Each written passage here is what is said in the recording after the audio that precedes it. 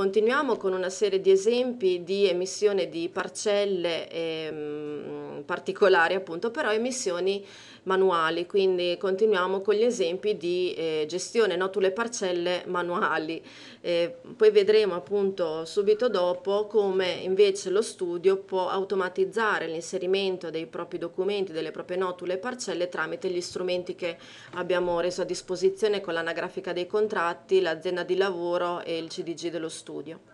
Quindi continuo con la gestione notule parcelle inserendo per esempio una parcella ad un ente pubblico. Quindi c'è la possibilità sempre all'interno della nostra gestione notule parcelle di emettere una parcella ad un ente pubblico e quindi con l'IVA d'esigibilità differita, quindi con l'IVA sospesa.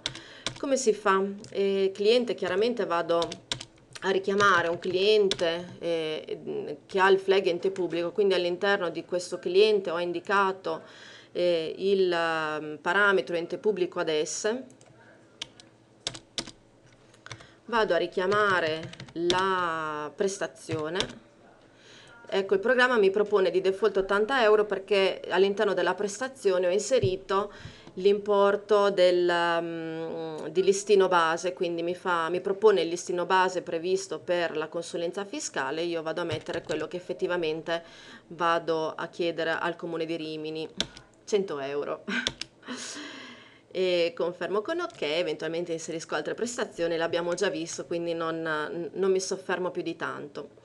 E totale a pagare, quindi il netto a pagare 106,88, confermo con ok. Per registrare la fattura in IVA sospesa è fondamentale quello che indico in parcella totalmente pagata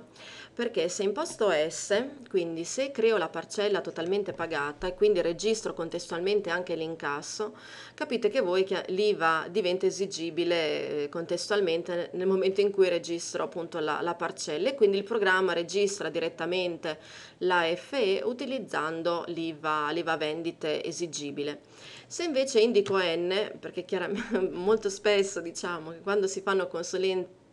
ad enti pubblici o comunque prestazioni per enti pubblici è abbastanza difficile che eh, l'incasso sia contestuale all'emissione del documento, quindi parcella totalmente pagata indico N, a questo punto confermando con ok il, il programma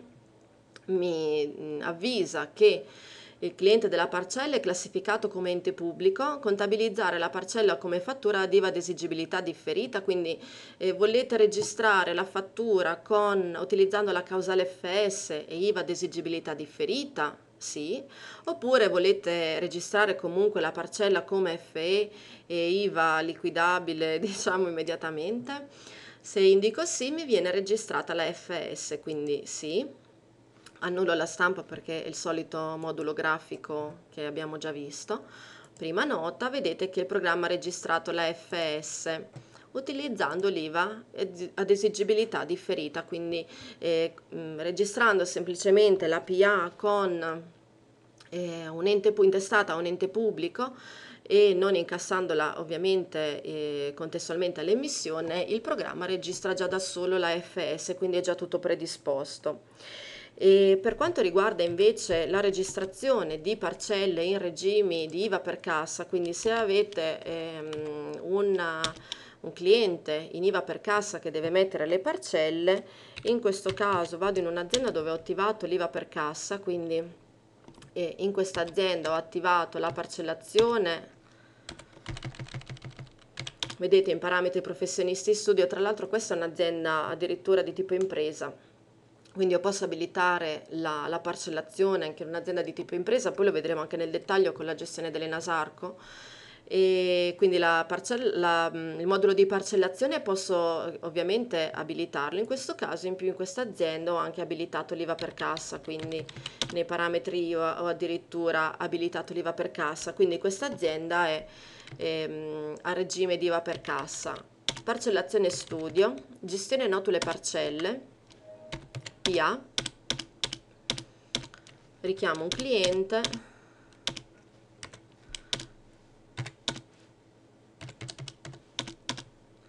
mille euro di, di, parcella, confermo con ok, anche qui è fondamentale quello che indico in parcella totalmente pagata per il discorso che vi facevo prima. Se indico parcella totalmente pagata ad esse è praticamente inutile registrare eh, la, la fattura come IVA per cassa, quindi eh, con IVA ad esigibilità differita, perché appunto viene portata in liquidazione immediatamente. In questo caso appunto se voglio registrarla come FS, mh, mm, parcella totalmente pagata deve avere l'indicazione ad N, confermo con OK, solita stampa grafica che adesso non ci interessa, prima nota, quindi viene registrata la FS automaticamente e viene utilizzato il conto IVA ad esigibilità differita. Quindi vedete il programma eh, gestisce in modo totalmente trasparente per l'utente anche l'emissione in, um, in regime di IVA per cassa.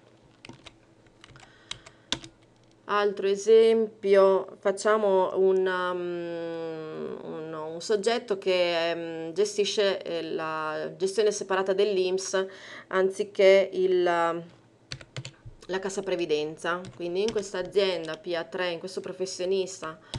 F10, anagrafica azienda, F4 dati aziendali, parametri professionisti studio, all'interno di questa eh, anagrafica, di questo professionista, eh, ho indicato un 4% di gestione separata dell'INPS, quindi questo professionista non è soggetto alla cassa previdenza nazionale, ma alla gestione separata dell'INPS, quindi sono andata ad indicare 4% in gestione separata dell'INPS e assoggettamento IVA per il 4% di INPS al 22%, il resto chiaramente tutto come abbiamo già visto e devo aver però inserito nei parametri di base conti automatici altri conti automatici devo aver inserito in gestione separata dell'IMS il conto che verrà utilizzato dal programma per la contabilizzazione del contributo IMS della gestione separata eh, viene indicato un conto di tipo sospeso perché appunto eh, all'interno dell'anagrafica del conto sospeso è già riportato qual è il relativo conto effettivo e quindi quindi in base a quello che è la registrazione della fattura, quindi se la parcella è totalmente incassata oppure no, il programma utilizzerà un conto piuttosto che l'altro. Vediamo la registrazione, quindi parcella... Ah, altra cosa importante, prestazioni clienti ovviamente in questo caso ho dovuto inserire all'interno della mm, prestazione gestione separata IMSS S, quindi mentre eh, nei casi che abbiamo visto in precedenza dove era attiva la cassa previdenza era stata impostata ad S la cassa previdenza, in questo caso avendo attivato la gestione separata dell'IMSS per le prestazioni per le quali appunto voglio calcolare il 4% IMSS devo indicare ad S ovviamente questo, questo valore. E, ehm, gestione notule parcelle inserisco la parcella.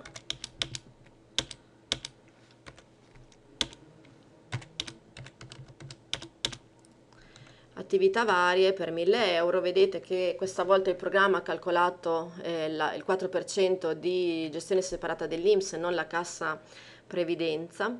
e, mh, imponibile più esenzione eh, 1000 euro di prestazioni più i 40 relativi all'Inps, quindi l'IVA è di 228,80, il totale documento è di 1268,80, questa volta la ritenuta è calcolata anche sulla parte relativa alla gestione separata dell'Inps proprio perché la gestione separata dell'Inps è soggetta al calcolo della ritenuta d'acconto mentre la cassa previdenza no, quindi negli altri casi la ritenuta d'acconto veniva calcolata solo sulle prestazioni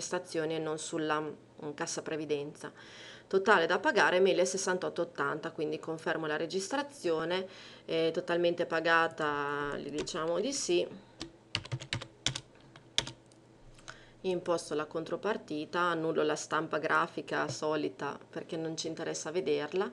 Prima nota, la registrazione della FE è fatta in questo modo, quindi eh, il programma è andato ad utilizzare il conto contributo 4% gestione separata dell'INPS, che è il conto di tipo effettivo rispetto al sospeso indicato nei parametri, nei conti automatici, scusate e per il resto la registrazione è simile, direi uguale come struttura a quello che abbiamo visto fino adesso. Guardiamo velocemente anche l'incasso, ehm, che anche in questo caso eh, non ha nulla di particolare rispetto a quello che abbiamo già visto, quindi i soliti conti movimentati a livello di descrizione solo perché appunto i professionisti hanno a fine anno la necessità di stampare i famosi eh, bollati che vi dicevo. Allora, cambiamo azienda. Vedo che domande per il momento non ce ne sono, quindi vi faccio vedere un'altra mm, casistica particolare, sempre a livello di eh, gestione parcelle manuali. E non so se avete già seguito i corsi che sono stati fatti la scorsa settimana sull'emissione delle mm, parcelle, delle fatture elettroniche alla pubblica amministrazione, quindi con la generazione della, mm, eh, dell'XML appunto per l'invio alla pubblica amministrazione, mm, vi riepilogo velocemente come è possibile appunto emettere una parcella per un ufficio, eh, per un ufficio del Ministero che eh, ha aderito alla mh, mm, generazione della mh, fattura elettronica, quindi con formato XML, eh, vi riepilogo appunto velocemente quali sono le impostazioni. Quindi diciamo che come primissima cosa dobbiamo inserire all'interno dell'anagrafica azienda, quindi sono all'interno dell'azienda che deve mettere la parcella al, all'ente pubblico appunto che ha aderito alla, mm, alla fatturazione elettronica. E, mm, in dati aziendali c'è la voce trasmittente fattura elettronica PA allora, all'interno di questa voce di menu noi dobbiamo andare ad inserire chi è il trasmittente, chi fisicamente trasmetterà l'XML generato, se è l'intermediario oppure se è l'azienda stessa. Se indico A, quindi l'azienda stessa, in questo caso appunto Rossi Mario,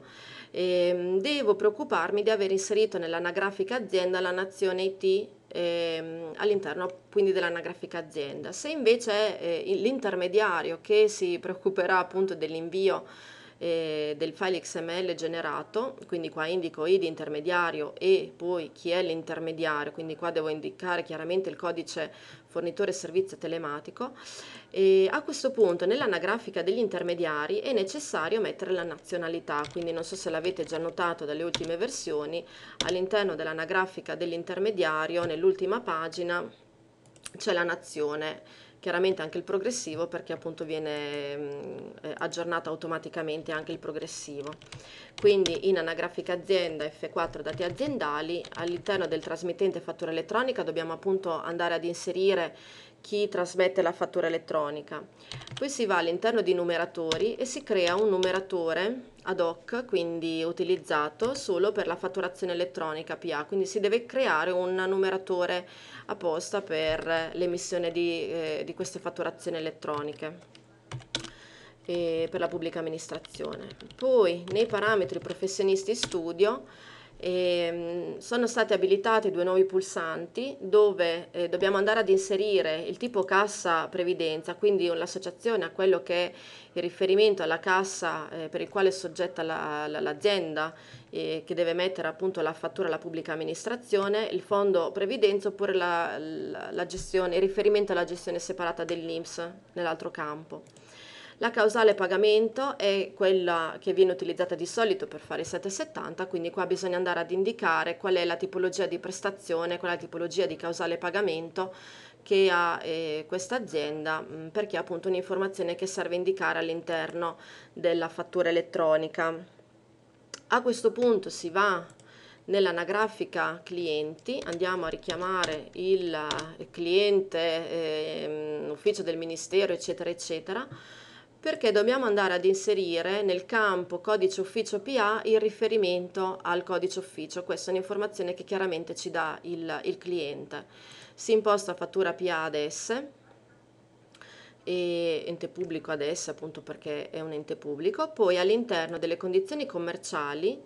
c'è la voce fattura elettronica dove si va ad inserire qual è il sezionale IVA appunto dedicato alla fatturazione elettronica, in questo caso appunto il 2 perché ho inserito nel sezionale 2 la numerazione dedicata appunto alla, mm, alla fattura PA, quindi alla, mm, alla fattura per la pubblica amministrazione. A questo punto eh, bisogna preoccuparsi di inserire una stampante se già non l'avete eh, relativa alla mm, fattura PA, quindi con il formato per la fattura PA,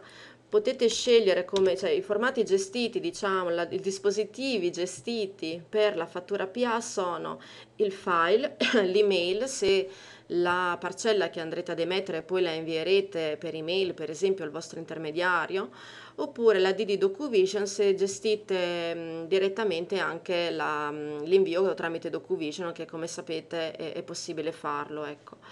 Chiaramente quindi nel dispositivo di stampa si imposta FD file se si vuole salvare in locale il file XML, DD DocuVision se si vuole gestire eh, tramite DocuVision anche l'invio, la firma e la sostituzione ehm, della la, generazione appunto del file tramite eh, DocuVision per l'invio telematico oppure la ID mail se il file XML deve essere appunto inviato tramite mail a per esempio l'intermediario. Formato di stampa bisogna scegliere F che è quello dedicato alla fattura PA. Quindi si crea la stampante con le caratteristiche che vi interessano e si crea poi il modulo di stampa grafica, quindi all'interno della modulistica grafica si richiama fra gli esempi passepartout il modulo relativo alla um, parcella PA per la pubblica amministrazione, quindi io adesso in questo caso l'ho già creato e um, mi ha richiamato quindi il codice PAE. A questo punto andiamo a generare il nostro documento, quindi vado in contabilità, parcellazione studio, gestione notule parcelle, PA, richiamo il cliente, richiamo la prestazione, non mi soffermo perché è tutto come, come prima chiaramente. Confermo con ok, parcella totalmente pagata no, ok. E questo è l'automatismo che abbiamo visto prima, quindi ente pubblico non pagata, non incassata contestualmente, mi registra la FS se premo sì, quindi gli dico di sì. Ed ecco che eh, innanzitutto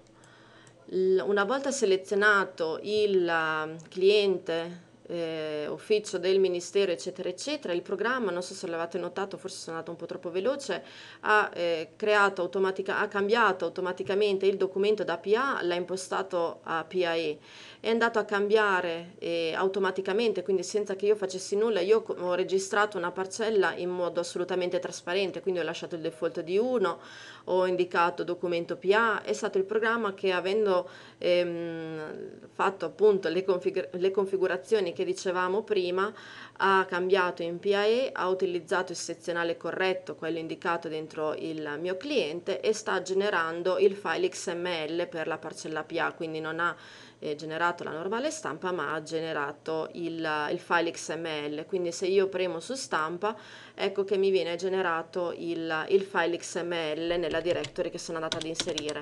Ve lo rifaccio vedere perché prima sono andata veloce quindi io sto creando la PA con il sezionale 1 richiamo il cliente che ha le impostazioni per l'invio della,